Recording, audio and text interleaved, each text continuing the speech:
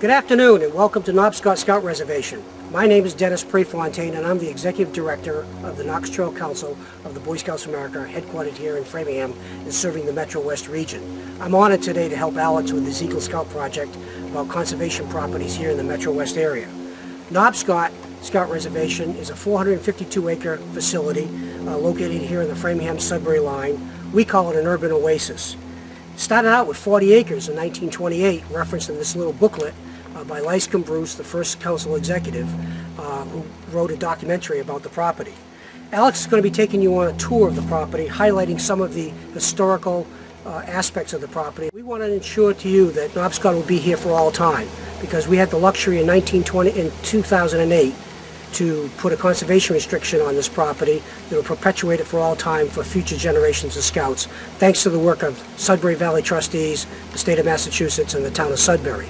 So enjoy your tour with Alex, and if you have an opportunity someday, come out for a hike yourself. Good afternoon. Goodbye.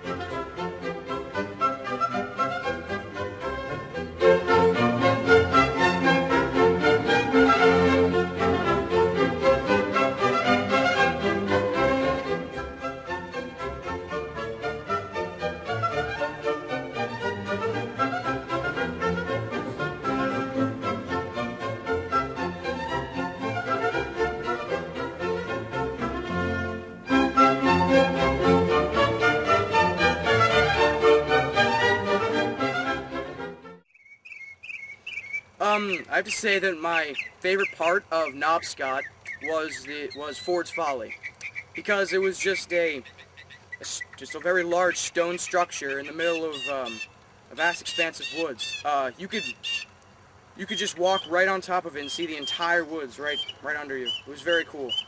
And um, the difficulties of the trail, um, there was one major one, which was at the um, beginning of the trail on Brimstone Lane, there was a very large or very steep inclination that you had to walk up. There was a lot of steps, and it was it was difficult even for me.